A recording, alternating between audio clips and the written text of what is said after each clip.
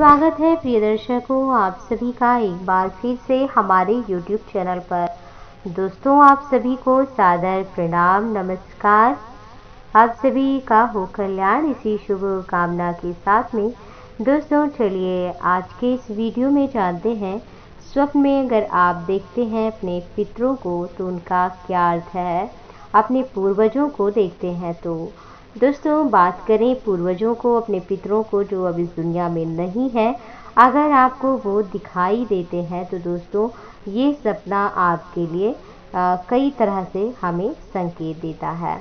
जैसे कि अगर खुश हैं पूर्वज आशीर्वाद दे रहे हैं आ, ये प्रसन्न दिख रहे हैं मुस्कुराते दिख रहे हैं तो इसका मतलब उनका आशीर्वाद है आपके कर्म अच्छे हैं।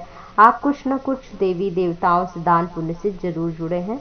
और सत्य से जुड़े ईमानदारी से कहीं ना कहीं आपके भीतर अच्छी भावनाएँ हैं। और इसलिए आपके पितर आप पर, आपके पूर्वज प्रसन्न हैं तो वो आशीर्वाद दे रहे हैं। और इसका अर्थ ये है कि आपके जीवन में सुख, समृद्धि, वृद्धि होगी। और अगर वहीं आप देखते हैं कि क्रोधित है पितृ तो दोस्तों नाराज़ है या भूखे दिख रहे हैं, और रो रहे हैं, चिल्ला रहे हैं इस तरह से आप देखते हैं तो दोस्तों, इसका अर्थ है कि वो आपसे नाराज़ है। आप कोई दान पुण्य नहीं करते हैं, साथ ही साथ या आपने उनके लिए निमित्त श्राद्ध नहीं किया है, या उनकी कोई कामना अधूरी है, उस पर आप ध्यान नहीं दे रहे, इस तरफ़ भी इशारा करते हैं।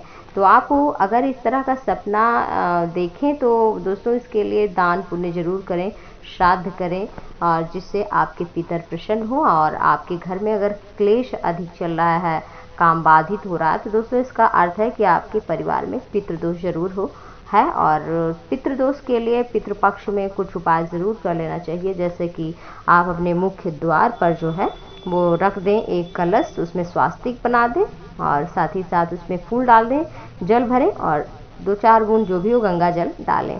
और उसको सूर्योदय के समय से प्रारंभ करें, रख दें। दूसरे दिन सूर्योदय के समय प्रातःकाल उसको उसी अपने मुख्य दरवाजे पर छिड़क दें और अंदर भी थोड़ा छिड़क दें।